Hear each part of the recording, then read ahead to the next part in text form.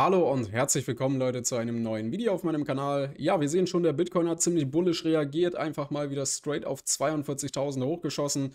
Ich wäre trotzdem natürlich vorsichtig mit der Thematik jetzt, es äh, kann auch genauso schnell wieder äh, steil nach unten gehen. Um den Bitcoin soll es heute aber überhaupt gar nicht gehen. Wir wollen noch einmal über XRP sprechen. Wir haben nämlich äh, zwei interessante Artikel da am Start, die sich leider so ein bisschen mit den Aussagen widersprechen und äh, dementsprechend, da wollen wir einmal drauf eingehen, das so ein bisschen aus dem Weg zu räumen und ich gebe natürlich auch wieder meine eigene Meinung dazu ab.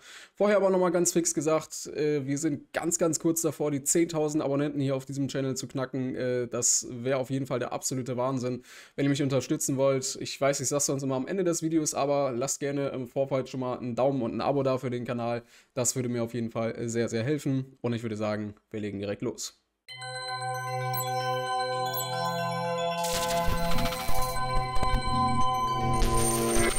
Denn wir haben hier folgenden Artikel vom 7. März, also vor zwei Tagen. XRP-Klage, Anwalt Jeremy Hogan diskutiert seine Erwartungen nach der Entdeckung in Ripple-Litigation. Äh, und gleichzeitig haben wir weiter unten noch einen aktuellen Artikel, äh, der, wie gesagt, der eben so ein bisschen ja, widersprüchlich erscheint. Wir gehen jedenfalls mal die Aussagen durch. Dort sind eigentlich so die Tweets, äh, die Aussagen des Anwalts ziemlich zusammengefasst worden. Anwalt Jeremy Hogan sprach in den letzten Tweets über seine Erwartungen nach der Entdeckung im Ripple SEC-Fall. Und dort hat Hogan nämlich erklärt, dass er glaubt, dass der Fall irgendwann zwischen 26. August und 18. November ähm, ja, bereinigt sein würde äh, was sich erstmal so den vorherigen Aussagen widerspricht. Falls ihr meine letzten Videos auch gesehen habt, äh, dort gab es ja ebenfalls auch einen Artikel von Aussagen von ihm, äh, wo er gesagt hat, ja, es geht wahrscheinlich eher in Richtung April zu Ende und er denkt nicht, dass es sich noch über den Sommer hinüberziehen wird, hinauszögern wird, genauso eigentlich auch wie Brad Garlinghouse, also der CEO von Ripple. Da hatte ich ja schon zugesagt, dass ich das nicht so ganz glauben kann, sondern dass sich das eher noch äh, Richtung drittes und viertes Quartal zieht. Und so äh, scheint er jetzt auch zurückgerudert sein. Äh, selbst zurückgerudert zu sein. Ähm, hier sagt er nämlich selber auch nochmal, der XRP-freundliche Anwalt hatte zuvor im September für ein summarisches Urteil und April, Mai für die nächsten Vergleichsgespräche vorhergesagt. Ja, also das, äh, ich weiß nicht, ob ich das damals dann falsch verstanden habe. Ich war mir aber eigentlich ziemlich sicher, dass es auch so ausdrücklich gesagt hat, dass es dann vorbei sein könnte. Jedenfalls geht es jetzt darum, April, Mai äh, Vergleichsgespräche und ähm, dass der gesamte Fall dann eigentlich eher Richtung, ja, tatsächlich drittes, viertes Quartal dann erst enden könnte. Denn laut von Hogan veröffentlichten Dokumente beantragte Ripple die Verschiebung der anhängigen Sammelklage vom zuvor vereinbarten Datum vom 26. August auf den 18. November 2022. Ja, also es ist von Ripple selbst verschoben worden in dem Fall. Hogan erklärte weiter, dass Ripple glaubt, dass es den SEC-Fall im September oder Oktober gewinnen könnte, wonach die Sammelklage aufgrund von Collateral Estoppel, äh, also Kollateralverschlüsselungen heißt es äh, in dem Fall, abgewiesen wird. Ein Rechtsbegriff, der eine Partei daran hindert, ein in einer früheren Klage angesprochenes Problem erneut zu verhandeln, ja, deswegen Verschlüsselungen, selbst wenn das Problem mit einem bestimmten Anspruch zusammenhängt.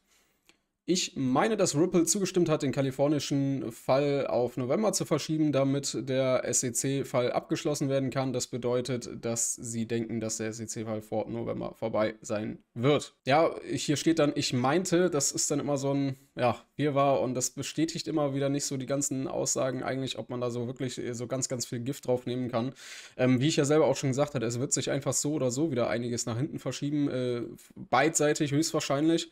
Und von daher, was ich aber tatsächlich auch relativ gut finde, denn ja, solange die Klage nicht vorbei ist, wird XRP weiter tief stehen. Das heißt, wir werden äh, aller Voraussicht nach eine ganze Menge Zeit haben, äh, falls wir oder ihr da draußen natürlich ebenfalls von XRP überzeugt seid, äh, eine ganze Menge Zeit haben, noch günstig einzukaufen, günstig XRP zu sammeln und ja, das ist in dem Fall eine gute Geschichte, denn ich gehe nach wie vor, egal wie weit sich das verschiebt, davon aus, dass es positiv ausgehen wird. Und je länger Ripple äh, XRP tief steht, desto länger kann ich günstig einkaufen. Also für mich in dem Fall hat es nur Vorteile. Ja, hier geht es nochmal um die Expertenfindungsphase. Also hier steht es, die Expertenfindungsphase des Rechtsstreits ging am 28. Februar zu Ende, also vor äh, ja, etwas mehr als einer Woche, nachdem sie mehrmals verschoben worden war, um weitere Aussagen zu machen. Ja, ich packe euch den Artikel natürlich auch wieder in die Videobeschreibung, dann könnt ihr auch hier nochmal ein bisschen weiterlesen. Äh, das fand ich jetzt nicht ganz so relevant. Ähm, äh, kommen wir aber nochmal zu dem vorhin angesprochenen Widerspruch, denn hier haben wir nämlich noch einen weiteren Artikel, gut, der ist jetzt nicht von dem Hogan, der ist ähm, von John Deaton. XRP-Klage, Ripples bevorstehende Gerichtsentscheidungen könnten bereits Ende März enthüllt werden, sagte John Deaton. Der Artikel ist äh, von heute oder in dem Fall eben äh, von gestern, je nachdem, wann ihr das Video äh, zu sehen bekommt. Ja, auf jeden Fall sehr, sehr widersprüchlich. Äh, Ende, Mitte November oder Ende März, also quasi diesen Monat noch, spätestens drei Wochen. Hier hat er nämlich nochmal gesagt, laut Crypto-Law-Gründer äh, John Deaton könnten die erwarteten Gerichtsurteile von Ripple bereits Ende März fallen. Der Grund erklärt, er ist äh, zweimal im Jahr legen Bundesrichter dem Kongress eine Liste von Anträgen vor, die für sechs Monate oder länger anhängig sind. Er fährt fort, die nächste Liste ist am 31. März fällig. Wenn Richterin Torres äh, keine Entscheidung über die anhängigen Anträge fällt, muss sie diese Anträge auf Aufnahme in die sechs Monate Liste melden.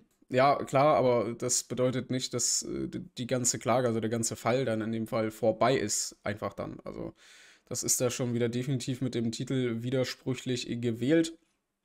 Ähm, hier geht es dann nochmal um Brad Garlinghouse, der ebenfalls gesagt hatte natürlich, dass er einige Entscheidungen des Gerichts nun erwarte, wie es dann natürlich weitergeht. Da haben wir hier jetzt nochmal die Geschichte von Sarah Netburn, das hatte ich in meinem letzten Video schon erzählt, also checkt das auf jeden Fall ab, falls ihr das noch nicht gesehen habt. Das erwartete Urteil von Richterin Sarah Netburn über den Antrag der SEC auf erneute Prüfung, der von John Deaton als die größte Entscheidung in dem Fall bezeichnet wird. Ja, also äh, das wird ja in dem Fall die Mediatorin des Falls sein. Und dazu sagt dann auch nochmal der Anwalt der XRP-Inhaber, das wird Jeremy Hogan sein. Ich glaube auch, dass Richter Netburns Entscheidungen, äh, Entscheidungen über die 63 E-Mails und die Estra-Book-Notizen jeden Tag fallen könnten. Ripple und die XRP-Community drücken die Daumen, während sie auf die nächste Phase der Klage warten. Ja, also wir sehen sicherlich eine neue Info dann Ende März, am 31. März äh, in dem Fall, aber die Klage wird mit Sicherheit dann nicht enden. Also ich finde, wie es hier am Anfang äh, von äh, Hogan auch nochmal gesagt wurde, dass er da ein bisschen zurückgerudert ist. Äh, Richtung 26. August, 18. November. Das klingt tatsächlich realistisch und es bestätigt auch nach wie vor meine Prognose. Ich habe von Anfang an ja gesagt, äh, es geht eher Richtung drittes, viertes Quartal noch raus. Ich denke nicht, dass wir vorher eine Einigung oder ein Ergebnis äh, in irgendeiner Art und Weise sehen werden. Von daher, Leute, ja, es bleibt auf jeden Fall weiter spannend. Ich werde euch natürlich weiter äh, jedes Mal, wenn ich irgendwie was Neues habe, äh, damit füttern mit den Infos. Also bleibt auf jeden Fall dran. Abonniert den Kanal sehr gerne, falls ihr es noch nicht getan habt. Und lasst wie immer ein Like und ein Abo da. Und dann würde ich sagen, sehen wir uns beim nächsten Video. Ciao.